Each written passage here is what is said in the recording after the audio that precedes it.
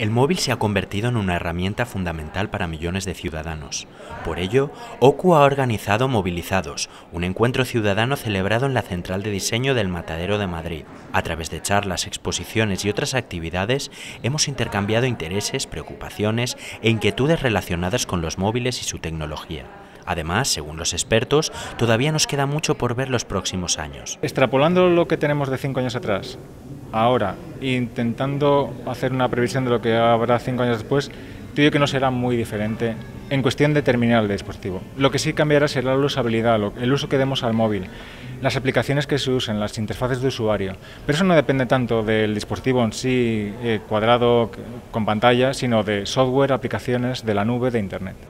Por otra parte, los abogados de OCU han atendido a los usuarios con dudas o problemas.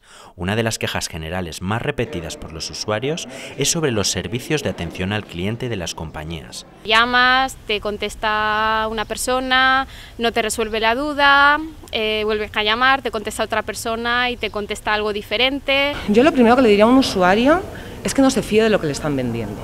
Si tengo cualquier tipo de problema, lo primero que hay que hacer es presentar una reclamación o bien por escrito o bien telefónicamente. Y siempre me tienen que dar un número, un número de referencia, un número que a mí me permita tener constancia de esa reclamación. Que no me contestan en 30 días, ya doy un paso más. Perteneces a una asociación de consumidores o perteneces a una ciudad o un municipio donde hay unos servicios municipales de información al consumidor. Yo iría e intentaría una mediación. ¿Que no es posible? Pues ya opto por el arbitraje de consumo o por la Secretaría de Estado de Telecomunicaciones. Yo entiendo que acudir a la vía judicial en temas de telefonía muchas veces se queda demasiado grande la vía de reclamación para esos importes tan chiquititos, pero esto también hace muy fuertes a las compañías. O sea que yo sí que animo a la gente a que si tiene un problema que supera una cantidad de dinero un poco elevada, pues que se anime que vaya a esa vía judicial movilizados se enmarca en la campaña de OCU Quiero pagar menos móvil.org. Cualquier usuario puede apuntarse gratuitamente hasta el 21 de mayo para conseguir una tarifa más barata y reducir su factura de teléfono móvil. Tengo bastante esperanza en que se pueda conseguir algo positivo con esto.